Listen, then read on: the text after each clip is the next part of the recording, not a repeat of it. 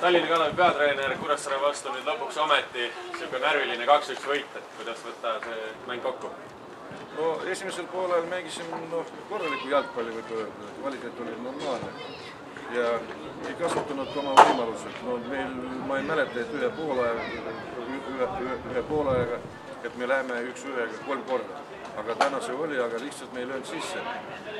aga teisel poolel see on meie haigus, et äh, Kuressaares viie minutiga nad, nad vigistasid äh, skoori ja täna oli niimoodi, tunne oli selline, et äh, veel paar-kolm minti ja oleks jälle viinud. Muidu, muidu resultaat on olemas, kolm punkti aga mängu kõik unustavad lõpuks.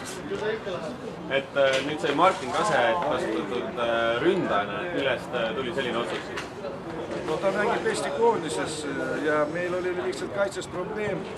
Savitski oli vigastatud Kristjan nüüd ja Savitski, kui tuli tagasi, siis noh, täna võib öelda, ma olen rahul stopperitega, kui Manedoviga ja Savitskiga. aga arvan, et nüüd, nüüd Martinit arvestame nagu eduriimes mehega. selge, suur tänu. aitäh. pane. Tallinna Kalevi mängija Martin Kase, üle pika aja võidumäng, esimest korda ründes ja värav kohe võiks nagu rahul olla, aga nii mitu üks-üks olukorda jäi veel löömata, et kuidas võtaksid mängu kokku? mäng oli üle kivide kändude meeskonna poolt, aga võidu esmatähtis ja enda olukorda halb päev. et äh, nüüd sa oledki Eesti koondises, noortekoondistes, sa oledki mänginud ründes ja Kalevis rohkem kaitses, et äh, peatreener äh, Ratnikov ütleski, et ta arvestab sind nüüd rohkem ründamehega, mehena, et äh, kummal positsioonil sa ennast nagu paremini tunned ja kus sa, kus sa ise tahaksid täpselt mängida? ründes. rünne on nagu see põhipositsioon sulle, mis sobib?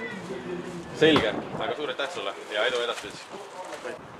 FC Kuressaare mängija Sami-Sander Kivi, et Kalevi vastu üks-kaks kaotus, kuidas kommenteeriksid mängu? no esimene poolaeg jäime surve alla kohe alguses, siis lõite oma kaks momenti ära või noh, ühe momendi. Teil oli mitu üks-ühe võimalust veel ja me nagu otseselt väga palju võimalusi meil ei olnud. aga teine poolaeg siis kasusime, oli lõpus oli ikka päris kõva surve. et oligi, et kui see individuaalselt meisterlik üks-kaks värav löödi, kas meeskond siis uskus, et tuleb äh, uuesti see, on võimalik äh, vigistada kohtumine? jah, aega küll palju ei olnud, aga, aga arvasime, et seal tuleb.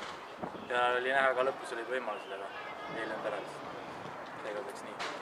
selge, aga suur tänu!